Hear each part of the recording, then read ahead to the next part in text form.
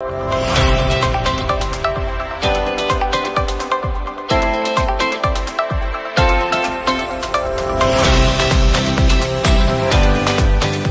me for the new show. I'm bringing you entertainment, guests, and advice on health and beauty.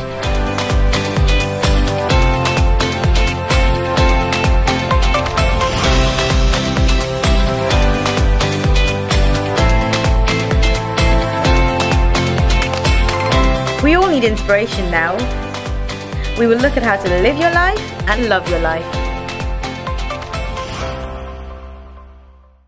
Hi everyone, welcome to the Halimah Show, and today is our first episode. So, thank you so much for joining us, and we have an amazing guest today. I'm so excited to introduce you to her. Um, she has been in the industry for at least 24 years. She's got a wealth of knowledge. And not only has she been in this beauty industry, she has then gone on to fight cancer and build an amazing life. Let me introduce you to the amazing Zaynab Mirza. Hello, Assalamualaikum. Welcome, Islam. How are you? How are you? Nima? Oh, I'm loving fine, thank you. How Thank are you, so much for having me. No, thank you for coming. I'm, I'm really happy that you're our first guest. Um, I'm Really? honestly, I'm so honoured. I'm so humbled. Thank you so much. No, thank you so much. Um, to tell us, Zaynab, we haven't got so long, so just talk us through. The first thing I'd like to ask you is what got you into the makeup world? I think that's always interesting to people. Um, I think for me it was um, ever since I was, I think ever since I could remember, sort of 10, 11, um, I was really fascinated by makeup, by my mum's makeup, um, you know, and I remember my brother got married when I was 11, and when my sister-in-law came into the house, you know, um, there was no one to do her makeup, so I was like, yeah, I'll do it, you know, and at 11, I remember sort of just um, grabbing all my mum's makeup, and you know, you didn't have makeup artists back then or anything, it was your cousins, your sisters, you know, stuff like that, and I think that's I got into it just sort of purely by chance. Um, the excitement of yes, I want to do it, and you know, sort of going through my teenage years, I was the girl in the bathroom doing all her friends' makeup, um, and I think I got to um, you know, sort of after my GCSEs. Um, I realised that you know I didn't want to go to uni. I didn't Yeah. want to do anything. I wanted to go to beauty school. Oh, okay. Um, so I knew, you Yeah. know, from I think when I was about sixteen that this is what I wanted to do. Did you know you wanted to do bridal specifically or just any No, makeup? um, uh, makeup was the fascination, Yeah. but back then, um, you know, makeup schools weren't popular at Okay, all. yeah. So beauty was the route into makeup. So it was a part of beauty Oh, okay. therapy. Yeah. So I trained as a beauty therapist, and then sort of went on and did massage and you Yeah. know all the kind of aromatherapy, you know all, all the um, therapies that go alongside beauty. Um, but makeup was sort of where I wanted to be, um, and then I sort of started working with um, you know sort of like makeup brands in. London in the department stores, getting training. what was the most exciting brand you worked with? I think for me it was Chanel. Okay. Um, wow. But also, I have to say, when MAC launched in the UK in Harvey Nichols, Oh my I worked on that launch Wow, campaign. okay. Um, so, and that's when I sort of discovered what trendy Okay. makeup was. Because before it was all classic. Yeah. Lancome, Chanel, you know, YSL. This is And then- creative. yeah, and Yeah. then MAC came in and it really appealed um, to my creative juices. Yeah. So yeah, so uh, you know, just that whole, even seeing it from a makeup artist point of view, you know, Yeah. how makeup changed from being very posh, very kind of, you know, Yeah. expensive, glamorous. Because I remember when I when I because obviously I'm a makeup artist, I've done it for how long, but when I first joined, I saw your products on one of the wedding exhibitions. We're looking at maybe 12, 14 years ago. Yeah. And it was Provoke Cosmetics, wasn't it? Yes, yeah. it and um, I, people were like, oh yeah, that's really big, that's really innovative. it was. I remember your campaigns were quite bright. Do you know And- we always wanted? So I mean, the my makeup brand came sort of ten years after Okay. I started as a makeup artist, and it was born out of this kind of need of, um, you know, there still wasn't stuff that Asian, Arab, like my clients were still struggling, Yeah. even with MAC. You know, th- they were brilliant brand, but you know, there were still things that were missing, and one day I just thought, you know what, I'm, I'm going to do this. so good, Um, yeah. and yeah, and to be able to compete with mainstream, you know, my campaigns had to be edgy. Yeah, edgy. They were a little bit provocative, but it was the idea. Yeah, exactly. And the idea was to get people talking. You Yeah. know? And if we were going to compete on that kind of international arena, Yeah. we had to make sure that we, you know, we, we stood up to it. So, So it yeah. worked. So I still remember it. That was that was when I first started. That's Oh. amazing. And then obviously you've progressed from makeup into doing further things. You've written books. Um, you've met so many people. Um, what's okay, so I've got quite a few questions. Okay. Uh, you're ready. What was um what's been the driving factor that made you decide you know you're not just going to be the run of the mill makeup artist that everybody else is what what do you think made you stood out what was the reason that made you stand out and what actually made you stand out Do you know, I think with me it was I've always had tunnel vision, so for me it's like my eye is just on my goal. Yeah. I'm just focused. I've honestly I don't I don't look left, I don't look right, I don't know who else is doing what. I've never even been consumed by it. For me it was it's I wanted to reach for the stars. Yeah. Um, and I had a bit of a um, sort of like an underlying mission because when I got into beauty, my parents faced a lot of criticism Okay. because everyone around me was going to university and they were like, "Oh, okay, so you, your daughter's a hairdresser," you know, and so it, it was Beauty this kind of therapy. beauty beautician, and it was like an insult from my parents, you know, and suddenly, you know, I kind of got into makeup and then um, because I was quite young compared to all the makeup artists that were around at the time, um, you know, I started getting like magazine work, I started getting newspaper sort of columns and things like that. And I think I sort of quite early on realised that I, I can really mm. do something with this. Yeah. So I just always, you know, once I became a makeup artist, I wanted a brand. You know, once I created Yeah. a brand, you know, it was like I wanted a school. Yeah. You know, and it's just I've always just wanted to do one better than what I've already do, do you think part of that is because of your parents sort of cynic, is it cynicism towards the makeup industry Well, I think so. My dad didn't talk to me for like three months, I think it was, when I joined beauty. But after that, he became my biggest fan. that's every nice. campaign, every business card, every article. That's important. He, he had a folder of all my stuff, you know, Yeah. and it was, and I remember him kind of going, "That's my daughter," you know, and uh, you know, mashallah, it was really nice to see that I'd made them proud Yeah. in a field that wasn't acceptable. An Asian industry, In Asian industry, yeah. and then suddenly I started getting relatives calling me to say, my daughter doesn't want to go to university or she doesn't want to go to college, she wants to do beauty. Can you recommend where Oh, she should yeah. go? And we're not sure, you Yeah. Mm. know, and it became acceptable. Um, and it was amazing, you know, to, to be able to have brought about some change. and trust And trust, yeah, Yeah. it's not actually a dirty, seedy, dumb profession because you actually have to study quite a lot. yeah there's a lot There's a lot of work. studying that people don't realise. Yeah. And I think, you know, one thing I remember an uncle had come over from Pakistan and his daughters were studying to be doctors or were doctors. And I was reading um, Grey's Anatomy. Yeah. And he said to me, Sorry, aren't you a beautician? And I said, Yeah. And he said, So why are you reading Grey's Anatomy? Said, because I need to understand the, whole skin, body, the the, skin, yeah. you know, and it, it- it's he was so impressed and he said to me, you know, Beta, I've got so much respect for you Oh, today. And, good. you know, it's Yeah. lovely to see those kind of Yeah. um, change of opinions. Yeah. Oh, brilliant. I hope more people watch this and learn from that. Um, and then, so how, and then, okay, so you've, you've blossomed and bloomed and been so successful in the beauty industry, um, but then you've also faced some struggles. I mean, we all do challenges. Yeah. You maybe a little bit more than others. um, would you like to talk to us about what you've then gone on to face and how you fought it? Yeah. And where you've so um, 2013, um, towards the end of 2013, um, after sort of quite a you know while of being unwell, um, I was diagnosed with ovarian cancer. Okay. Um, so that came as a massive shock Yeah. because it was, you know, just not what I expected to be the outcome of what I'd been going through. Yeah. Um, so that was quite a long, tedious, um, really, really hard battle because I was given a grade, um, uh, a, yeah, a grade four um, Okay. diagnosis. What's grade four? So that's basically um, where they thought it had spread to my other organs, Okay. um, and you know I was given this kind of, you know what what five year scenario, and you know it was actually really That's really stressful? Scary because. I actually thought I was going to die, Yeah. you know, and at that point my daughter was only six.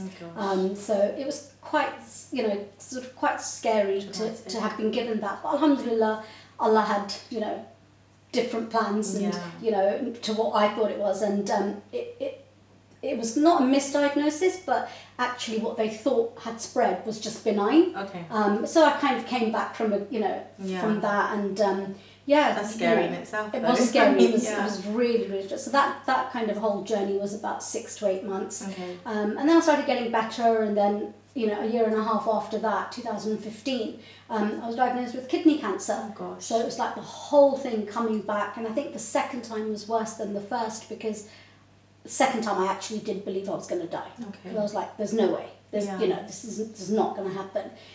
but again, alhamdulillah, you know, Yeah. sort of came back out of that. And What yeah. did you do work wise then while you were su- Well, struggling? everything, you know, like um, mean, sold, you know, so yeah, yeah, the makeup brand. Well, yeah. I, you know, the makeup brand was sold. Yeah. You know, like there's no way I could carry on with such a stressful, you know, environment. Yeah. It just wasn't going to happen. Yeah. So Yeah. yeah, so you know, I did sort of try and carry on with what I was doing, Mm. um, but it became harder and harder. And after the second cancer, um, I struggled a lot with mobility. okay. So it There's no way changed. go around There's no way I could go back to Yeah. being a full time makeup artist. Yeah. But it's but so so you've done all that. You've you know been the top of your game. You've fought cancer. what more can you do in life? So where are you now with everything then, Zaynab? So um, following the cancer and you know sort of having this thing inside you, which is you know when That burning. that burning thing, you know, you know, when you when you, when you've lived something your entire life, it's Yeah. really hard to give it up. So I started um, focusing on like writing. So I was blogging a lot more. I was writing articles a lot more. Um, but then I sort of still wanted to do something. So um, I beauty line. yeah, in the beauty line. So then I sort of, um, and my daughter was growing up as well, and you know, she was sort of getting experimental, and it just started like that. You know, just started sort of making products that she would use, that she could use. Then her friends started asking, and it literally, when I mean an organic Escalated, business was yeah. born out of like an organic idea. Um, yeah, so I kind of gave birth to Aw. a new baby. Um, so yeah, you know, I'm sort of now working on this whole um, natural, clean Yeah. beauty. And this is this cosmixology. Cosmixology, yeah, which basically means the science of cosmetics. Okay. Yeah, so Yeah. uh, sorry, I just so yeah, so now what we do is um, you know we've got a completely clean, organic, uh, non-toxic beauty brand um, for adults, but our main focus is actually children. Okay. So we do a lot of fun products for kids. Okay. I mean, you know, really Yeah. really funky, food inspired. Yeah, because I looked through your Instagram. Yeah, so, so, a lot of good. food inspired yeah. products for kids, um, you know, and also obviously, you know, our teen range is quite funky. Yeah. Um, you know, but everything is 100% natural, all clean. So um, yeah, you know. It's so good. Thank, you so, much for being here. Yeah, so This that's is the our Lux range. Yeah, so yeah. the Rosu is part of our Lux range um, in our artisan um, Okay, sort of collection. luxury But range. yeah, so Shimmer body oil. That's amazing. We all need a bit of shimmer in our lives. Yeah. I think everybody needs shimmer in our lives. Everyone lives. needs shimmer in their lives. And, Um, so um, yeah, so that's what we're doing right now. You know, just staying connected to beauty, Yeah. but in a much more clean, um, you know, and, and natural way. And um, we all, I also wanted to touch base on just a quick uh, overview on what your daughter's doing as well. Yeah, so I think you know um, a friend of mine just recently said you know the apple really doesn't fall far Aw. from the tree. So thank you, Rook.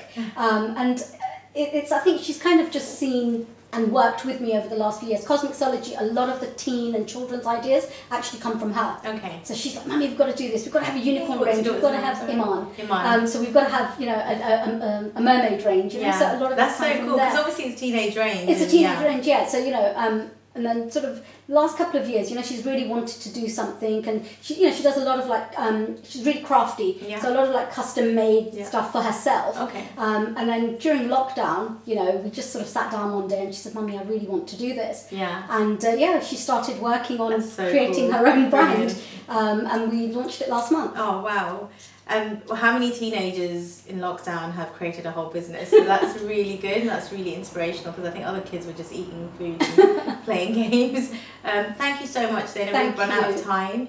Um, but if you could perhaps look into the camera and tell everyone where they can find you and your and your brand, it'd be really good. Yeah. So we're on Instagram, on Facebook at Cosmixology UK. So forward slash Cosmixology UK. Um, and if you want to follow my journey, that's at Zaynab Mirza. Thank you so much, Zaynab, for joining us. Thank you. Thank you. We've had a fabulous time getting to know Zaynab Mirza, and now we go on to the next segment. My favourite, the beauty side of life. Let's get to it. So last week I got to do makeup at the Shangri-La Shard. It was an amazing experience, really fabulous. So thank you to the Shangri-La for that. Um, in this clip, let me just go through what I've been doing um, with the makeup. I used a Pat McGrath palette. Um, Pat McGrath is one of my favourite brands at the moment when it comes to eyeshadow and, and colour. Um, this is one of the other palettes. Um, on that palette I've used the latest edition, it's a rose uh, pink edition. and I have done the green shimmery on the eyelid, a little bit of a darker shade in the corners, and then another soft colouring on the socket line. So that's what I did with the eyelids. But before we even get to eyeshadow, there's a really important step that I feel a lot of people are not doing. Um, I deal with clients all the time and I don't think enough people are using an eye primer um, or a color corrector. So the eye primer, there's so many brands right now. I mean, Hourglass has come out with one, um, NARS has got one, they've even got a tinted one. Urban Decay has got a really good eye primer I've been using that for at least, I don't know, 12, 14 years. Um, so you put that on a very thin layer and then that keeps the rest of your makeup intact the whole day. It will crease, your eyeshadow won't transfer, um, and the color stays the same, really pigmented. So it's really good to invest in an eyeshadow primer. Um, and again, my favorite at the moment is basically the, the, the Urban Decay one. So once you've done eye primer all over your lid, then you may need to use a color corrector. Again, you can get orange color corrector if you're a darker skin shade um, with a little bit of grayness in your eyes. You can get an orange color corrector. If you're more uh, lighter skin toned, you may find a lot of like blue blood vessels on your eyelid and then you may want to color correct that with a little bit of a greener tone. So you just need to find which color corrector is best for you. Um, LA Girl is a really cheap, cheerful, you know, color corrector that I use. Um, you can order that on Amazon or anything. It comes in a little tube. Um, you can put that after your Urban, Urban Decay Potion Primer. Once you've done that, and these are very thin layers by the way, you don't want to be putting too much product on your eyes. Once you've done that, you can then go over with a really good concealer. I, um, at the moment, I'm using Huda Beauty or um, the Too Faced Born This Way um, sorry, uh, concealer and there's also Tarte um, and recently I went and bought the Fenty concealer. I mean in this current climate a little bit hard to test things but you can see the consistency on tissue and ask your advisor at the at the uh, department stores to maybe just uh, put it on a on a cotton bud so you can try it or on a tissue um, but you have to try it before you buy these things um, so I like this one because I think it's got good coverage but it's not too drying so this is the Fenty Beauty one. And again with concealer you may want to buy two colors one a little bit lighter for under your eyes one your skin tone for your eyelid. So that's the that's the uh, concealer. Once you've done that that's when you go ahead and and do your eyeshadow. Um, and I think I've used uh, eyelashes on Amelia as well um, and with the eyelashes again not everybody uses eyelashes. You could just mascara straight through. Um, go for natural first and build it up. Some you know if you've never used eyelashes before just see how it goes. Um, a lot of people use the duo glue. I just tend to use the Eyelure one uh, that comes with the box um, because it's a little bit more gentle. And you can easily peel them off and put them in the bin or you can use them again. It's not a problem um, and then that was it really. I mean, I did her eyebrows and the rest of the makeup. And again, if you've got any questions on any of this, let me know. Email me, message me. You've got always to always to reach me now. If you've got questions about this clip or anything in the future, let me know. Thank you so much for joining us today. I hope you found that useful and inspiring. Please do subscribe to the YouTube channel, The Halimah Show, and follow all our credits for Instagram and Facebook.